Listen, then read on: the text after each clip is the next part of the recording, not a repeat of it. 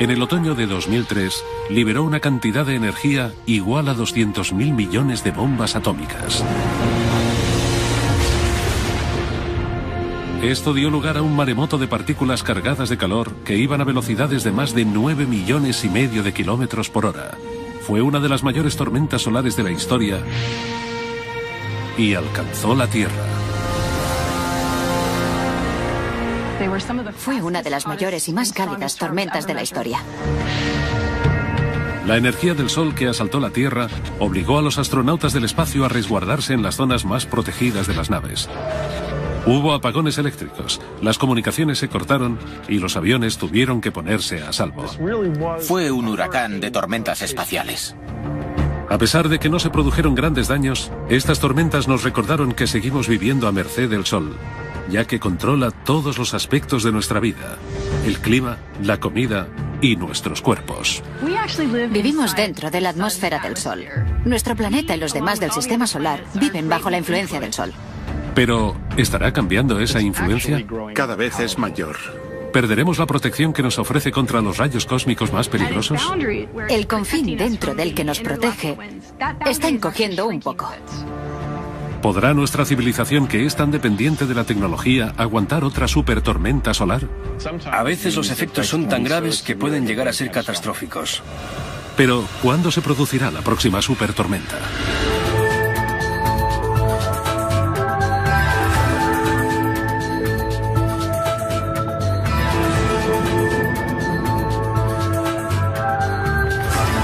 El Sol. 3, 2, 1. Liberación. Se ha dado inicio a la misión IBEX. Durante el otoño de 2008, Ignición. la NASA lanzó el IBEX, el explorador de la frontera interestelar. Parte de su misión es estudiar el efecto que tiene el Sol en los lugares más lejanos de nuestro sistema solar. IBEX es un intento más por descubrir el impacto de las estrellas en nuestro sistema solar, en nuestro planeta y en nuestra vida. El Sol. El Sol nos proporciona luz y calor. Si no fuera por él, no estaríamos vivos. A los humanos nos interesa lo que pasa a nuestro alrededor. Nos gusta entender nuestro barrio. Y en el universo el Sol es nuestra calle, nuestro barrio. El Sol. Nos afectan sus estados de ánimo. Es el padre de todos los demás planetas, ya que estos se ven afectados por su estado de ánimo. Tenemos que saber cómo evolucionará y cómo sus constantes cambios nos afectarán en la Tierra. El Sol. Si queremos entender el universo y las estrellas que forman dicho universo, es importante estudiar la que tenemos más cerca. Hemos aprendido más del Sol en los últimos 40 o 50 años que en toda la historia. Esta edad de oro de la investigación se originó con una misión única que nos ofreció imágenes cercanas del Sol desde la atmósfera terrestre. Skylab, la zona estará despejada durante ocho minutos. En 1973, Skylab fue la primera estación espacial con humanos y consiguió las mejores imágenes del Sol tomadas desde la Tierra. La misión Skylab fue uno de los primeros laboratorios dedicados solo a la investigación y el estudio del Sol. Se podría considerar el abuelo de las misiones de hoy en día. En la actualidad, una flota de 20 sondas espaciales escanean y estudian el Sol de formas que hace 30 años eran inimaginables. Al estudiarlo desde el mismo espacio, podemos verlo de manera diferente y con distintas longitudes de onda, desde los rayos X a la radiación ultravioleta extrema. Además, podemos analizar sus capas y entender cómo y por qué el Sol actúa tal y como lo hace. Las diferentes longitudes de onda significan diferentes temperaturas y hay estructuras que son más visibles con unas longitudes de onda que con otras. Los científicos también han podido observar el interior del Sol mediante una técnica denominada heliosismología, que utiliza las propias vibraciones del astro para estudiar su actividad interna. El Sol no es un cuerpo sólido, es una bola de gas gigante. Así que oscila, vibra y si medimos sus frecuencias de oscilación, podemos inferir la estructura que tiene por dentro. Si observamos el Sol durante un largo periodo de tiempo con buenas cámaras y ordenadores, podemos ver las capas que tiene, ver los efectos de las turbulencias que han creado capas y las corrientes. Incluso podemos utilizarlo para imaginarnos la cara oculta del Sol, la que no vemos hasta que no rota. Y mediante la heliosismología podemos detectar las manchas solares de la cara oculta. Es una gran herramienta. Las ondas espaciales nunca dejan de observar el Sol y gracias a ellas los investigadores están estudiando las grandes incógnitas de esta estrella y han descifrado bastantes de ellas. El Sol es una de las más de 2.000 millones de estrellas de la Vía Láctea y es la más cercana a nosotros, ya que se encuentra a 150 millones de kilómetros de la Tierra, casi la distancia que se recorrería dando la vuelta al mundo 4.000 veces. No obstante, a pesar de la distancia, la luz solo tarda 8 minutos en llegar a nuestro planeta. Lleva 4.000 millones y medio de años de los 10 o 11 que se le auguran de vida. A pesar de que técnicamente es una estrella de tamaño medio y se denomina estrella enana, es inmensa. Mide 1.400.000 kilómetros de diámetro y si la vaciáramos, en su interior cabrían 1.300.000 planetas del tamaño de la Tierra. El Sol supone el 99,8% de la masa del Sistema Solar y pesa 300.000 veces más que la Tierra. Casi en su totalidad está compuesto por gas supercaliente y electromagnético que se denomina plasma. Tiene suficiente fuerza de gravedad como para evitar que los planetas del sistema se dispersen en el espacio. Y tal y como sugirió Copérnico, gobierna el centro de nuestro sistema solar con un puño gravitatorio de acero. El modelo de Copérnico que sitúa el Sol en el centro del sistema solar con todos los planetas moviéndose alrededor, deshaciéndose de la idea de que todo giraba en torno a la Tierra, supuso un gran cambio paradigmático. Con él el Sol se convirtió en lo más importante de nuestro sistema y nos hizo ver que teníamos que entender lo que era. El Sol, igual que todas las demás estrellas del universo, está compuesto del polvo de otras estrellas que vivieron y murieron hace mil millones de años, incluso en la época del Big Bang. Nuestro Sol y nuestro sistema solar son los restos de muchas otras generaciones de estrellas. El Sol que vemos todos los días es la fuente de energía del sistema solar. En el centro llega a alcanzar los 15 millones de grados centígrados y es el motor de todo. En el centro del Sol se produce el proceso de fusión y ese proceso libera luz y partículas. Por cada segundo de luz del Sol se libera la misma energía que liberarían un millón de bombas atómicas. El Sol afecta todo lo que toca y para descubrir cómo, los científicos a veces se basan en una importante coincidencia cósmica. El Sol. El Sol. La luz del Sol está compuesta por unas partículas que se denominan fotones. Nacen en el centro y se mueven gracias a corrientes de convención a través de las zonas radioactivas y convectivas del Sol. Así es como llegan a las capas externas y volátiles del astro. Las zonas exteriores del Sol están formadas por tres regiones. La fotosfera o superficie del Sol no se trata de una superficie dura como la de la Tierra. El Sol es todo gas. La temperatura de la fotosfera es de unos 5.500 grados. Por encima de la fina capa de la fotosfera hay otra delgada capa denominada cromosfera. Y está un poco más caliente que la fotosfera. Es extraño porque lo lógico es pensar que cuanto más lejos esté de la fuente de la energía, del centro, la temperatura caerá. Pero de la fotosfera a la cromosfera, la temperatura aumenta y asciende incluso más al llegar a la tercera capa de la atmósfera, la corona. Después de la cromosfera, hay una amplia zona denominada corona que está a millones de grados. El Sol produce influjo de energía constante denominado viento solar. Como nunca deja de soplar, reparte energía por todo el sistema solar y su alcance es de unos 15 trillones de kilómetros, bastante más allá de Plutón. El espacio existente entre los planetas de todo el sistema solar no está vacío. Está lleno de partículas y de rayos de luz. Mientras el viento solar se separa del Sol, la gravedad de este mantiene todo a la distancia a la que está. Fijémonos en los cometas. Todos ellos orbitan alrededor del Sol y pueden ser atraídos directamente a la línea de fuego. No hace mucho, los científicos fueron testigos de uno de los peores ataques solares. Una eyección de una zona de la corona arrancó la cola de un cometa. Cuando chocó contra el cometa, le arrancó la cola como si la hubiera cortado con un cuchillo. La cola se cayó y luego el cometa tardó un tiempo en generar más gas, plasma y polvo para formar una nueva cola. Esto nos demuestra cómo se mueve el viento solar en el sistema y cómo afecta a lo demás. Lo que despide el Sol ha hecho que su estudio sea casi tan difícil como entender su funcionamiento. Sin embargo, los científicos pueden observarlo de cerca gracias a una coincidencia cósmica. Los eclipses de Sol totales.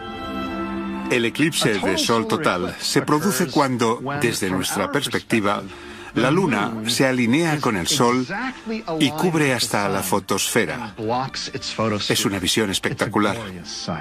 Los eclipses solares son preciosos. Todo se oscurece en tan solo unos segundos debido a miles de factores juntos. Hay tanta oscuridad que si miras al cielo, se ve una sombra negra que proviene de arriba y se dirige hacia ti a una velocidad de miles de kilómetros por hora. Es impresionante. Durante miles de años, la humanidad ha quedado maravillada por los misterios de los eclipses. Pero para los científicos ahora supone una gran oportunidad para observar la capa exterior del Sol, la enigmática corona. Es una de las zonas más calientes del astro y su energía irradia más allá de los confines del sistema solar. Todo el sistema solar está basado en la corona del Sol. Es decir, la atmósfera del Sol baña todos los planetas. Los ingenieros que construyeron el observatorio solar y heliosférico o SOHO instalaron un eclipse artificial en la sonda espacial. Se denomina coronógrafo y es igual que un eclipse natural, ya que impide que pasen los rayos del Sol para que los científicos puedan intentar responder esta ancestral pregunta. ¿Cómo es posible que la corona solar esté tan caliente? La superficie normal del Sol, la fotosfera, está a unos 5.500 grados centígrados y en cambio la corona está a millones de grados. Si te alejas de una estufa sabes que hará más frío, pero si te alejas de la superficie del Sol hace más calor. ¿A qué se debe eso? Todo tiene origen en el centro del Sol, donde cada segundo casi 700 millones de toneladas del elemento que más hay en el universo, el hidrógeno, se convierten en helio a través de la fusión nuclear y producen una energía que se convierte a su vez en fotones o lo que es lo mismo, luz. El centro del Sol está muy caliente, a varias decenas de millones de grados. Allí la temperatura es tan alta que los protones, los núcleos del hidrógeno se acoplan, se unen unos a otros, se fusionan y forman helio. Y así así se libera energía. Lo que sucede es que los fotones pasan por un proceso, lo que denominamos camino aleatorio, y tienen que atravesar la capa del Sol. Son absorbidos y reabsorbidos millones de veces en diferentes fotones a niveles de energía bajos. Este proceso de absorción y reabsorción puede durar unos 150.000 años.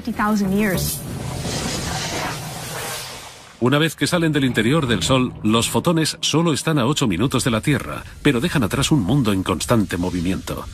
La superficie solar está en ebullición. La energía fluye desde abajo. Espirales de plasma y energía denominadas bucles coronarios recorren el Sol. Mientras las zonas más oscuras o manchas solares ocupan cientos de kilómetros. A tan solo 4.000 grados, dichas manchas son las regiones más frías del Sol y emiten menos luz que las zonas que tienen alrededor. Si cogieras una mancha solar y la colocases en el cielo lejos del Sol, sería tan brillante como la luna llena. Las manchas solares aparecen en la superficie y son fáciles de detectar, aunque su origen proviene del interior del Sol y de su compleja rotación. El Sol no rota como un cuerpo sólido. De hecho, rota más rápido por la zona del Ecuador que por los polos, y esto da lugar a las manchas solares. El Ecuador completa una rotación en 25 días. Las latitudes medias la completan en 30 días y las zonas de los polos en unos 35 días. Este proceso se denomina rotación diferencial y hace que el interior del Sol se mueva a diferentes, creando así un intenso magnetismo, es decir, millones de líneas de campo magnético que se entremezclan mientras el interior del astro se retuerce como una goma elástica. Esto crea presión y hace que floten. Así que llegan hasta la superficie y la atraviesan dando lugar a las manchas solares. Una vez en la superficie, las líneas de campo magnético ya inservibles impiden el paso del plasma caliente que proviene del interior y aparecen así las manchas solares. Y cuando esas manchas empiezan a retorcerse, imaginemos que hay una mancha aquí y otra aquí, y hay un campo magnético que conecta a las dos. Ese campo magnético se retuerce y hace lo que haría una goma elástica, sale disparado. Cuando sale disparado libera energía y en el caso del Sol y de las erupciones solares se trata de grandes cantidades de energía. Las líneas de campo magnético que vienen dadas por los movimientos de las manchas solares, a pesar de ser invisibles, se pueden observar en las dramáticas formaciones de la superficie solar, ya que producen erupciones y prominencias. Aquí es donde se origina la influencia del Sol ya que la ruptura de estas líneas de campo magnético libera grandes cantidades de energía al sistema solar desde la estrella más cercana a nosotros. Y estas líneas de campo magnético son las que se esconden detrás de la mayoría de las teorías sobre por qué la corona tiene temperaturas más altas que la superficie. Está claro que tiene algo que ver con las líneas de campo magnético que calientan la corona. Pero es posible que haya ondas en los campos magnéticos que transporten la energía de debajo de la superficie solar hasta la corona. La sonda espacial Hinoda, que significa amanecer en japonés, se lanzó en 2006 y su misión es estudiar la interacción entre las líneas de campo magnético y la corona. Recientemente ha recogido imágenes de una de las ondas que podría ser responsable del calentamiento de esta enigmática región, las ondas de Alfvén. Las ondas de Alfvén se producen en el plasma, el gas ionizado amenazado por un campo magnético. Además, se cree que estas ondas de Alfvén podrían transportar energía turbulenta desde el interior del Sol hasta la corona y que dicha energía podría calentarla. Las energéticas ondas de Alfvén que provienen del interior del Sol podrían llegar a la superficie y provocar la vibración de las líneas de campo magnético. Gracias a la vibración y la oscilación, se friccionan con el plasma magnetizado que rodea la corona y a través de la fricción se produce el calentamiento. Este calor que libera la corona es lo que calienta el espacio y llena el sistema solar de energía.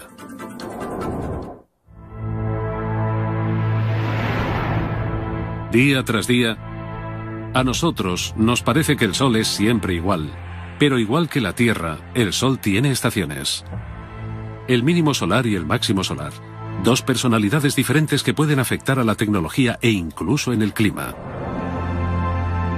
El periodo de transición entre los mínimos solares se denomina ciclo solar y se trata de un periodo medio de 11 años en el que la actividad solar llega a sus máximos y luego vuelve a empezar. La principal medida del ciclo de la actividad solar es el número de manchas solares que se ven en su superficie. Durante el mínimo solar, el periodo de menor aparición de manchas, la actividad solar es limitada.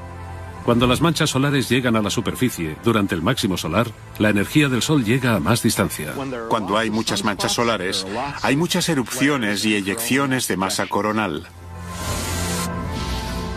El aumento de la actividad solar mejora la conexión entre el Sol y la Tierra. La energía que desprende el Sol puede provocar alteraciones en el entorno de la Tierra. La Tierra está rodeada por la atmósfera solar y lo que pasa en el Sol afecta a la Tierra. Así que eso es lo que llamamos clima espacial. Ahora se pretende realizar partes meteorológicos precisos del clima espacial, pero puede ser una tarea bastante complicada. El Sol es turbulento, sobre todo durante el máximo, cuando se produce el mayor número de tormentas solares. Durante el máximo solar, el campo magnético de la corona se complica mucho y hay campos magnéticos por todas partes, incluso cerca de los polos. Puede haber eyecciones de masa coronal, erupciones y tormentas solares varias veces al día. Las erupciones solares y las eyecciones de energía cercanas a las manchas solares recaen en el espacio. Como un rayo rápido y poderoso, pueden aparecer en cuestión de minutos y pueden liberar la misma cantidad de energía que mil millones de megatoneladas de dinamita. Las erupciones solares liberan gigantescas cantidades de energía solar desde pequeñas zonas localizadas de la superficie de nuestro astro. Así que son eyecciones muy concentradas de energía que calientan el gas que tienen alrededor en unos 10 millones de grados. Las erupciones solares son como latigazos. Liberan mucha energía muy rápido y aceleran las partículas casi a la velocidad de la luz. Las partículas de las erupciones solares más potentes pueden llegarnos en unos 15 minutos. Pero el huracán solar del espacio aparece con las eyecciones de masa coronal. Estas gigantescas explosiones liberan mil millones de toneladas de gas supercaliente y plasma al espacio interestelar. Las eyecciones de masa coronal se producen cuando la superficie solar despide una inmensa cantidad de masa y energía. Tenemos que imaginar esta inmensa cantidad de masa y energía viajando desde el Sol a gran velocidad, a veces a más de 1.600.000 kilómetros por hora. Lanzan unas burbujas gigantes de gas caliente y campos magnéticos. Salen tan rápido del Sol que producen una onda expansiva. Son las que crean las tormentas y son muy importantes para entender el clima espacial. Las ondas espaciales como SOHO han capturado imágenes del Sol lanzando grandes cantidades de energía al espacio. Pero a los científicos lo que más le preocupa es el denominado efecto halo, cuando una corona de energía rodea el coronógrafo. Esto significa que el Sol ha lanzado su mayor explosión hacia la Tierra. Y eso fue lo que sucedió en las intensas tormentas solares de 2003. La mayor eyección solar de la que se tiene constancia tuvo lugar durante estas tormentas. Poco después de la explosión inicial proveniente del Sol, SOHO recibió un bombardero de partículas solares cargadas, protones y electrones, que sobrecargaron la cámara y consiguieron que la imagen no se viera. Lo que ves es una especie de nieve. Se ven como copos brillantes, que son las partículas aceleradas por la eyección de masa coronal chocando contra la cámara de Soho. Si los astronautas no están preparados para ellas, las tormentas solares pueden causarles bajas, ya que se verán expuestos en unos segundos a la radiación que normalmente se recibe durante un año en la Tierra. Si vamos a enviar astronautas a la Luna y a Marte, es importante poder determinar cuándo se producirán estas eyecciones de masa coronal y estas tormentas. Las partículas cargadas de las eyecciones son peligrosas. Contienen demasiada radiación para un astronauta. El Sol.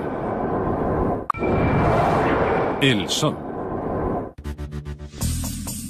Los astronautas y los satélites no son las únicas víctimas potenciales de las tormentas solares. Las partículas que se dirijan a la Tierra podrían interferir en nuestros campos magnéticos, provocando el caos. Cuando este material entra en contacto con el campo magnético de la Tierra, hace que suene casi como una campana. Cuando tienes un campo magnético y este se mueve, según la física, se crean corrientes. Así que se producirían corrientes eléctricas en la zona exterior de la atmósfera terrestre y estas corrientes podrían causar todo tipo de inconvenientes. Las corrientes supondrían un problema para los satélites que orbiten alrededor de la Tierra. Trastocarían los sistemas de posicionamiento global e interferirían las comunicaciones, produciendo cortes de radio y acabando con los sistemas de telefonía móvil. Estas eyecciones de masa coronal podrían enviar tantas partículas cargadas a la Tierra que algunas conseguirían entrar en el campo magnético de la Tierra y llegarían a las centrales eléctricas, produciendo avalanchas de electrones, apagones y cortocircuitos. En el peor de los casos, las tormentas solares pueden causar radiointerferencias excesivas y aumentar los niveles de radiación, obligando a los aviones que vuelen cerca del polo a recalcular su ruta. Pero a pesar de que las tormentas de 2003 fueron muy potentes, no tuvieron nada que ver con las que vio el astrónomo Richard Carrington en 1859. Aquello fue una supererupción. La supererupción de 1859 fue increíble porque antes de aquel momento no sabíamos ni que las erupciones existían. Carrington vio un gran flash en el Sol a simple vista. Y para que pudiera verlo así, tuvo que ser una erupción inmensa. Hay constancia de que algunas líneas de telégrafos funcionaron sin electricidad. Es probable que no veamos otra así en nuestra vida. Aunque es difícil asegurarlo, a veces el sol nos ha sorprendido.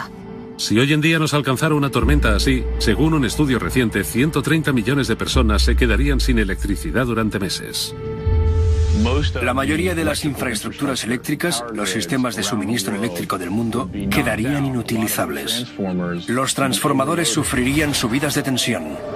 Y gran parte de la población mundial quedaría sin electricidad durante meses. Esto costaría inmensas cantidades de dinero. Se ha estimado que unos 2 billones de dólares. No lo sabremos hasta que no pase, pero cuanto más nos avisan, más podemos hacer para reducir el impacto económico, que es una de las razones por las que estudiamos el Sol. Estamos empezando a entender mejor cómo y cuándo pasan, aunque todavía no podemos predecirlas. No obstante, hay todo un campo que se denomina clima espacial, y gracias a esto podríamos entender, predecir y decir a los astronautas cuándo vienen las tormentas para que se puedan resguardar y poner los satélites a salvo. Las empresas de electricidad ahora podrán actuar si saben que van a pasar estas cosas. Podrán intentar que las centrales no sean tan susceptibles a los daños. Los científicos, desde que se lanzó la misión Estéreo, el Observatorio de Relaciones Solar Terrestres, están más cerca de poder predecir las tormentas. Este par de sondas les permiten ver el Sol en tres dimensiones. Ahora, cuando una de estas eyecciones de masa coronal se dirige hacia nosotros, vemos todo desde los laterales, así que sabemos la velocidad a la que van, cómo evolucionan y su estructura. En 2011, las sondas estéreo llegarán al punto ideal. Se quedarán los dos lados del Sol y permitirán a la NASA tener unas vistas de 360 grados. Así podrán ver lo que viene de la cara opuesta del Sol antes de que impacte en la Tierra. Por primera vez podremos ver el Sol por todas partes. Y esto nos permitirá ver todo lo que pasa en el Sol a la vez. Así podremos predecir este tipo de tormentas. El máximo solar es duro porque aumenta la temperatura del clima espacial. No obstante, durante el otro periodo del ciclo solar, la época de calma o mínimo solar también tiene sus propios peligros. Cuando se reduce el número de manchas solares, el clima de la Tierra es más frío.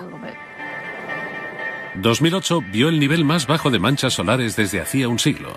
Hubo 266 días sin manchas solares. En 2008 alcanzamos el mínimo de manchas solares, pero ahora deberían estar aumentando y no es así. Es decir, esto puede significar que este periodo de pocas manchas solares será más prolongado. Según los científicos, los anteriores periodos en los que se han alcanzado mínimos de manchas solares han hecho descender la temperatura de la Tierra. De vez en cuando, el ciclo de la actividad de las manchas solares parece desaparecer o atenuarse. Esto ya sucedió entre 1650 y 1700. Solo tenemos constancia de unas 50 manchas, cuando normalmente en el mismo periodo de tiempo había decenas de miles. Así que en ese periodo disminuyeron muchísimo las manchas solares. Se denominó periodo de Maunder.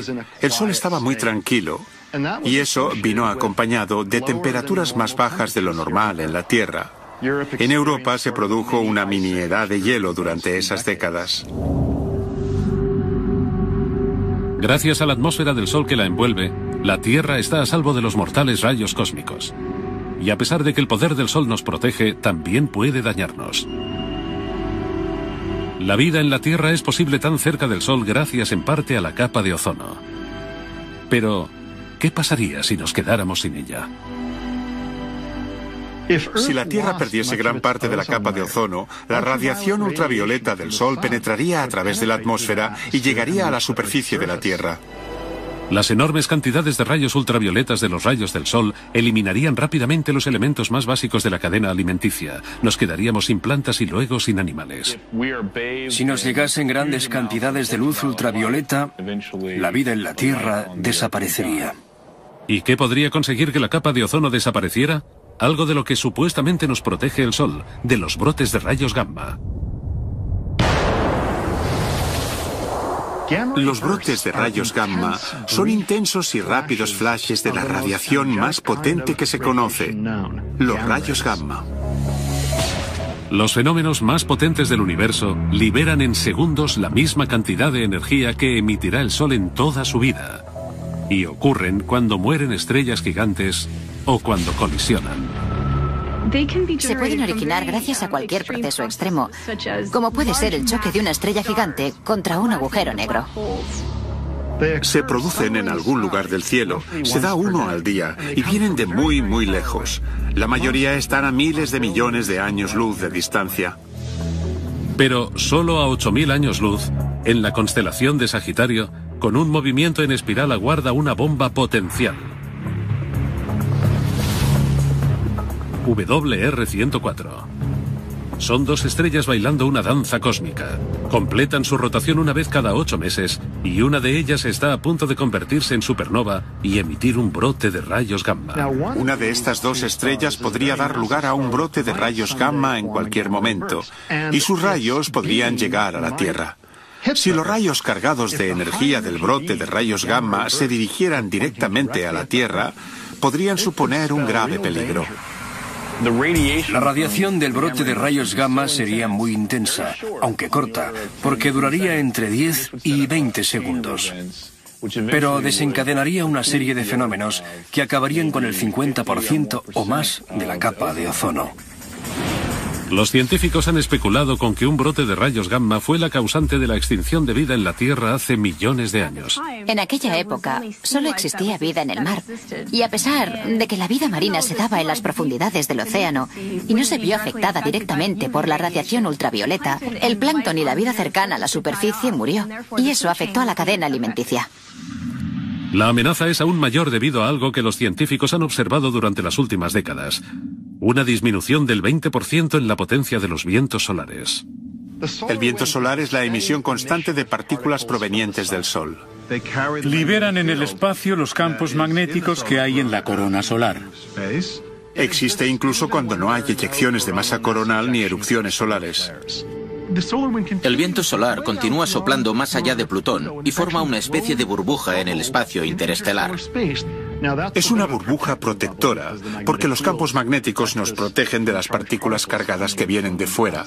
Normalmente los vientos solares soplan en todas direcciones a velocidades de 1.600.000 kilómetros por hora y así reparten el invisible campo magnético del Sol y además forman una barrera contra intrusiones intergalácticas para el sistema solar, la heliosfera. La heliosfera es la frontera donde los vientos solares chocan con el espacio interestelar. Así que es la capa que cubre todo lo que rodea al Sol y al sistema solar. Protege al planeta Tierra de los vientos interestelares. Recientemente los científicos han descubierto que la heliosfera está encogiendo y debilitándose. Se sabe que la presión del viento solar ha disminuido en los últimos 25 años. De hecho, la heliosfera, la zona donde la presión del viento solar se termina, ha encogido. Una heliosfera más débil aumenta las posibilidades de que la Tierra se vea expuesta al peligro y a los ataques de materiales cósmicos intergalácticos.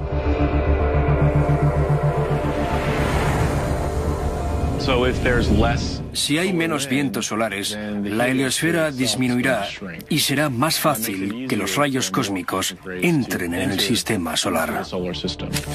De hecho, el número de electrones cargados de energía, una pequeña pero importante característica de los rayos cósmicos que hay alrededor de la Tierra, ha aumentado en un 20%. Parece que los electrones de los rayos cósmicos han aumentado, y es lo normal. Si los vientos solares han disminuido en un 20 o un 30% durante los últimos 50 años, la burbuja ha menguado. Y lo lógico es que los rayos cósmicos hayan aumentado.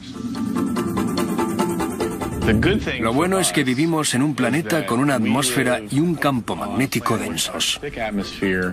Así que tenemos dos tipos de escudos que nos protegen. Tras miles de millones de años, el Sol y la Tierra han desarrollado el equilibrio perfecto para que la vida sea posible en nuestro planeta. El sistema solar se encuentra en la zona de habitabilidad estelar, ni muy caliente ni muy fría. El Sol nos proporciona la luz necesaria, el calor necesario y la energía suficiente para que exista nuestro planeta y la vida en él. El Sol hace posible todo lo que hay en la Tierra. El Sol es la fuente de alimentación de la Tierra, es decir, toda la energía que produce el Sol calienta la Tierra. Esto da lugar a nuestro clima. Controla nuestro clima. El Sol es básicamente la fuente de energía, nuestra batería, lo que controla todo el entorno de la Tierra. Las plantas aprovechan la energía del Sol a través de la fotosíntesis y creando carbohidratos. La gente y los animales consumen dichos carbohidratos convirtiéndolos en energía que podemos utilizar. Incluso los combustibles fósiles, que son la base de nuestra vida, han sido creados por el Sol. Pero nuestro uso exacerbado de dichos combustibles parece estar deteriorando el equilibrio existente entre el Sol y la Tierra. Debido a que todos los materiales vivos reciben su energía del Sol, el Sol es la fuente de todos los combustibles fósiles, ya sean los árboles o cosas que han quedado entre las rocas y han ido transformándose a lo largo de millones de años en los hidrocarbonos que nosotros conocemos, hemos recolectado y luego hemos utilizado. Los combustibles fósiles que quemamos hoy en día liberan la energía del Sol de hace millones de años, poniendo en peligro el equilibrio entre nuestro planeta y su estrella más cercana. Si quemamos todo, la atmósfera cambiará hasta llegar a ser irreconocible, mucho antes de que llegue el punto en que nos quedemos sin combustible fósil. Ya hemos visto el efecto del exceso de energía solar gracias al aumento de temperatura global. La liberación de millones de toneladas de antigua energía solar almacenada en los combustibles fósiles ha amplificado el proceso natural necesario. Ha producido el llamado efecto invernadero. Mucha gente cree que el efecto invernadero es malo. Pues no lo es porque mantiene la Tierra caliente. Sin él, los océanos se helarían. Lo malo es que haya demasiado efecto invernadero. Si hay demasiado dióxido de carbono, vapor de agua y metano en la atmósfera de la Tierra, esos gases atrapan demasiada radiación solar y entonces aumentan la temperatura media del planeta y producen el calentamiento global. Eso podría causar el deshielo de los casquetes polares y el aumento del nivel del mar, lo que sería un desastre si sucediera demasiado rápido. Así la atmósfera no solo recogería más calor, sino que podría empezar a descomponerse. El uso continuo de la energía solar fosilizada podría producir cantidades no deseadas de radiación solar. Ahora mismo nuestra capa de ozono evita el paso de la mayoría de los rayos ultravioletas del Sol y permite que llegue la luz suficiente que nos aporta lo necesario para vivir. Cuando la luz del Sol interactúa con nuestra piel, produce vitamina D, que es muy útil. La vitamina D nos protege de un gran número de enfermedades, incluidas las enfermedades de corazón y la osteoporosis, pero aquí también se produce un desequilibrio. Demasiado sol puede alterar nuestro ADN y provocar cáncer de piel. Para mantener el equilibrio entre el Sol y la Tierra que permite la existencia de la vida, habría que reducir el uso de la antigua energía solar y aumentar el de la energía que libera el Sol a diario. En definitiva, el Sol libera 86 miles de millones de miles de millones de megavatios de energía. Es decir, nuestro astro libera en 15 minutos toda la energía que se consume en la Tierra durante un año. Por ello, la explotación de esta fuente de energía ha sido el objetivo de los científicos durante años. El tamaño de este satélite solar no tiene precedentes. Se trata de una estructura de entre 55 y 65 kilómetros cuadrados cubierta con células solares que capturan la energía del astro durante las 24 horas del día y la envían a la Tierra. La NASA todavía no ha conseguido algo de esta escala, pero su trabajo en lo que respecta a la tecnología solar en el espacio ha mejorado la tecnología del planeta. Las células solares forman parte de un tipo de tecnología que ha llegado a la Tierra desde el espacio. Cuando empezamos a trabajar en los programas Apolo, Mercury y Gemini, necesitábamos centrales eléctricas en el espacio, así que las células solares fueron una fuente natural de electricidad. En la actualidad existen dos formas de aprovechar la energía solar. La energía solar térmica, que convierte la energía del Sol en calor, la concentra y con ella mueve turbinas, y las placas solares, que utilizan una tecnología basada en el silicio que convierte su energía en electricidad. También se puede aprovechar de forma indirecta mediante aerogeneradores que capturan la energía producida por el clima que el Sol ayuda a crear. Este tipo de tecnologías están en continuo desarrollo, pero gran parte de las nuevas tecnologías más interesantes se basa en un proceso muy antiguo, la fotosíntesis. Hemos descubierto grandes beneficios cuando hemos pasado del mundo de las células solares semiconductoras a las orgánicas. Los científicos pretenden imitar a la madre naturaleza y han conseguido crear electricidad de un producto que encontramos en el mercado, las espinacas. Todas las plantas verdes tienen unas moléculas orgánicas, pero las de las espinacas son mejores, donde se puede cultivar ese péptido, esa molécula. Los investigadores colocaron este péptido en una especie de sándwich solar. Lo colocaron entre dos materiales conductores. Y cuando se expone a la luz del sol, los electrones circulan y se produce corriente, electricidad. Así que las moléculas orgánicas pueden convertirse en pequeñas células solares. Para mantener el equilibrio entre la Tierra y nuestra estrella más cercana, es obvio que tenemos que centrarnos en buscar la forma de vivir con la energía que nos aporta el Sol hoy en día. En definitiva, mientras el sol brille, tendremos energía solar. Pero, ¿qué pasaría si nos aportase demasiada energía? El sol. El sol.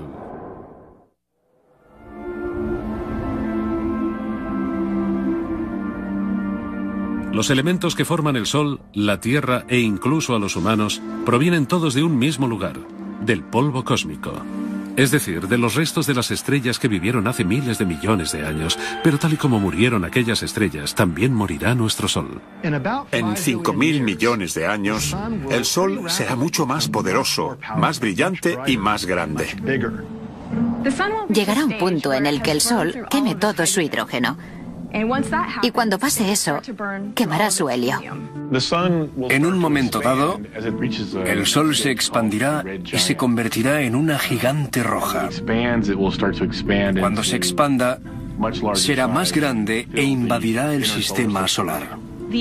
La órbita de los planetas también se expandirá, porque no será tan grande. Durante esa fase, las inestabilidades, que yo denomino eructos cósmicos, harán que la capa externa del Sol se eyecte con suavidad. Las capas exteriores de la gigante roja se irán desprendiendo tranquilamente. Las capas internas ionizarán la nube de gas que rodea al astro, y harán que brille. Así que nuestro Sol estará rodeado por nubes de gas brillantes. Formarán lo que se denomina la nebulosa planetaria, que tiene formas preciosas. Algunas son redondas, pero otras se desfiguran y tienen otras formas. Es decir, no son simétricas. Lo que quedará será el centro contraído del Sol, y no producirá energía nueva a través de las reacciones nucleares, porque ya no habrá. Así que seguirá contrayéndose y apagándose con el tiempo. Es muy similar al proceso mediante el que se crean las supernovas, pero el Sol no es lo suficientemente grande, no tiene el tamaño necesario para formar una supernova. Así que en su fase final se transformará en lo que llamamos una enana blanca. Lo que quedará será una enana blanca, que es una estrella relativamente pequeña. Será una estrella jubilada, feliz y tranquila. Será del tamaño de la Tierra. No será más pequeña y se formará una roca muy bien comprimida. Liberará su energía y será cada vez más fría y débil hasta que acabe desapareciendo de nuestra vista. La muerte del Sol tendrá un efecto devastador en el sistema solar. Si la gran expansión no se traga a los planetas más cercanos, entre los que se encuentra la Tierra, es muy posible que cambien su órbita y se sobrecalienten. La superficie de la Tierra quedará carbonizada. Seguramente la Tierra se asará sea como sea. Hay que imaginar un Sol una o dos mil veces más brillante que ahora. Así que la Tierra se calentará mucho y no será un lugar agradable para la vida. Es posible que se sobrecaliente antes de que muera el Sol. Porque el Sol se calentará antes de convertirse en gigante roja y hacerse más grande que la órbita de la Tierra. Se calentará en algún momento y en la Tierra hará tanto calor que el agua hervirá. Los mares se evaporarán y la vida, tal y como la conocemos, dejará de existir. Si quedase cualquier cosa en la Tierra, el Sol se encogería hasta convertirse en una enana blanca y entonces la Tierra se congelaría en vez de calentarse. No será un sitio apto para la vida. Pero eso no sucederá hasta dentro de miles y miles de millones de años. Solo hace unos 50 años que tenemos cohetes y satélites en el espacio y hablamos de miles de millones de años. Así que como mínimo habremos viajado por el sistema solar y habremos visto sitios donde la temperatura sea como la de la Tierra ahora o incluso habremos llegado a sitios que estén más allá del sistema solar. Con lo cual yo no me preocuparía con lo que le va a pasar al Sol en 5.000 millones de años. El Sol nos dio la vida y es posible que nos la quite. A pesar de que la Tierra morirá, de alguna forma lo que hay en ella podrá seguir viviendo. El polvo cósmico que dio la vida a la Tierra y a sus moradores algún día podrá convertirse en el polvo de estrellas que origine una nueva generación de planetas, estrellas y vida. En el fondo somos polvo de estrella. El carbono de las células, el oxígeno que respiramos, el calcio de los huesos y el hierro de las células sanguíneas. Todos estos elementos se crearon dentro de las estrellas mediante reacciones nucleares. Y gracias a que algunas de esas estrellas explotaron, existimos nosotros. El hallazgo de que nosotros provenimos de las estrellas es uno de los mayores descubrimientos de la historia de la ciencia. en el otoño de 2003 liberó una cantidad de energía igual a 200.000 millones de bombas atómicas. Esto dio lugar a un maremoto de partículas cargadas de calor que iban a velocidades de más de 9 millones y medio de kilómetros por hora. Fue una de las mayores tormentas solares de la historia y alcanzó la Tierra. Fue una de las mayores y más cálidas tormentas de la historia. La energía del Sol que asaltó la Tierra obligó a los astronautas del espacio a resguardarse en las zonas más protegidas de las naves. Hubo apagones eléctricos, las comunicaciones se cortaron y los aviones tuvieron que ponerse a salvo. Fue un huracán de tormentas espaciales. A pesar de que no se produjeron grandes daños, estas tormentas nos recordaron que seguimos viviendo a merced del Sol, ya que controla todos los aspectos de nuestra vida, el clima, la comida y nuestros cuerpos. Vivimos dentro de la atmósfera del Sol. Nuestro planeta y los demás del sistema solar viven bajo la influencia del Sol. Pero, ¿estará cambiando esa influencia? Cada vez es mayor. ¿Perderemos la protección que nos ofrece contra los rayos cósmicos más peligrosos? El confín dentro del que nos protege está encogiendo un poco. ¿Podrá nuestra civilización, que es tan dependiente de la tecnología, aguantar otra super tormenta solar? A veces los efectos son tan graves que pueden llegar a ser catastróficos. Pero, ¿cuándo se producirá la próxima super tormenta?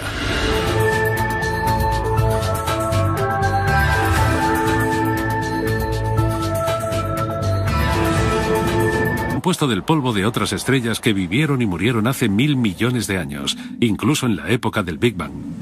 Nuestro Sol y nuestro sistema solar son los restos de muchas otras generaciones de estrellas.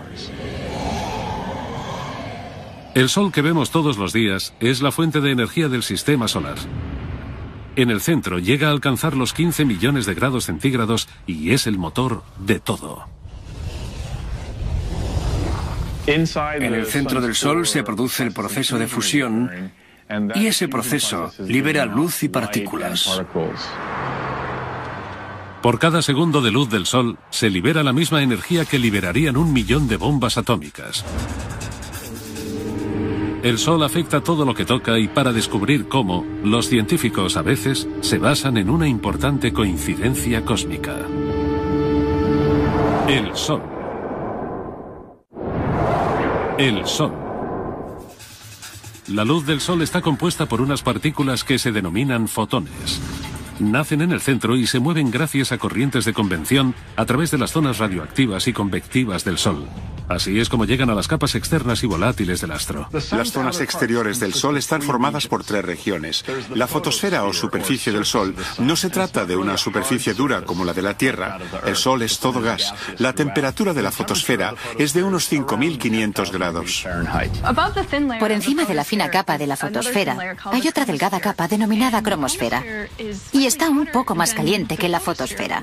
Es extraño porque lo lógico es pensar que cuanto más lejos esté de la fuente de la energía, del centro, la temperatura... Es una gran herramienta. Las ondas espaciales nunca dejan de observar el Sol y gracias a ellas los investigadores están estudiando las grandes incógnitas de esta estrella y han descifrado bastantes de ellas. El Sol es una de las más de 2.000 millones de estrellas de la Vía Láctea y es la más cercana a nosotros, ya que se encuentra a 150 millones de kilómetros de la Tierra, casi la distancia que se recorrería dando la vuelta al mundo 4.000 veces. No obstante, a pesar de la distancia, la luz solo tarda 8 minutos en llegar a nuestro planeta. Lleva 4.000 millones y medio de años de los 10 o 11 que se le auguran de vida. A pesar de que técnicamente es una estrella de tamaño medio y se denomina estrella enana, es inmensa. Mide un millón cuatrocientos kilómetros de diámetro y si la vaciáramos, en su interior cabrían un millón trescientos mil planetas del tamaño de la Tierra.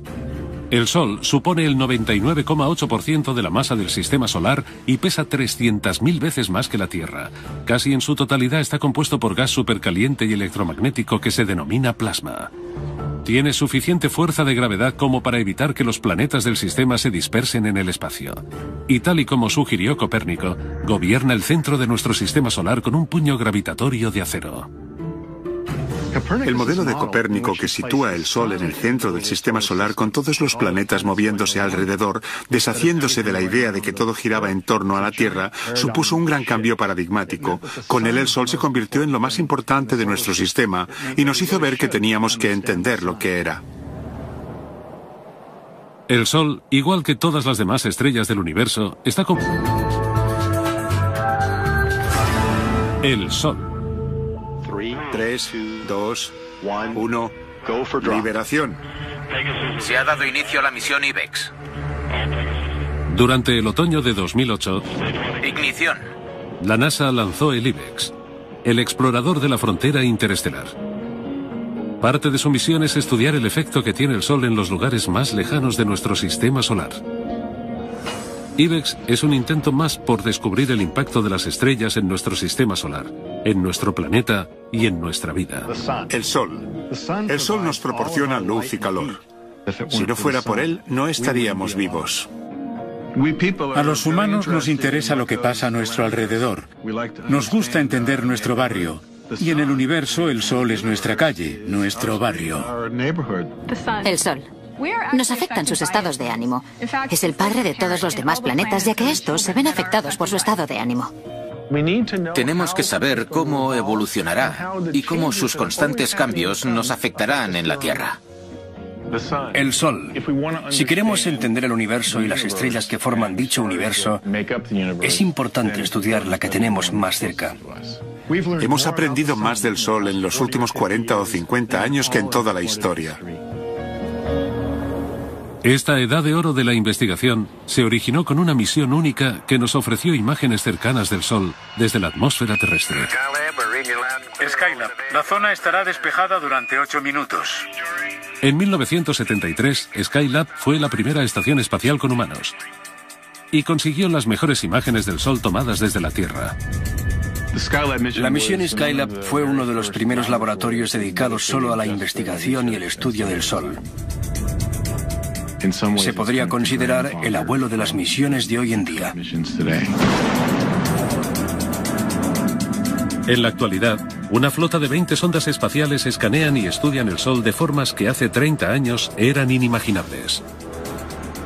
Al estudiarlo desde el mismo espacio, podemos verlo de manera diferente y con distintas longitudes de onda, desde los rayos X a la radiación ultravioleta extrema. Además, podemos analizar sus capas y entender cómo y por qué el Sol actúa tal y como lo hace. Las diferentes longitudes de onda significan diferentes temperaturas y hay estructuras que son más visibles con unas longitudes de onda que con otras. Los científicos también han podido observar el interior del Sol mediante una técnica denominada heliosismología, que utiliza las propias vibraciones del astro para estudiar su actividad interna. El Sol no es un cuerpo sólido, es una bola de gas gigante. Así que oscila, vibra y si medimos sus frecuencias de oscilación, podemos inferir la estructura que tiene por dentro. Si observamos el Sol durante un largo periodo de tiempo con buenas cámaras y ordenadores, podemos ver las capas que tiene, ver los efectos de las turbulencias que han creado capas y las corrientes. Incluso podemos utilizarlo para imaginarnos la cara oculta del Sol, la que no vemos hasta que no rota. Y mediante la heliosismología podemos detectar las manchas solares de la cara oculta.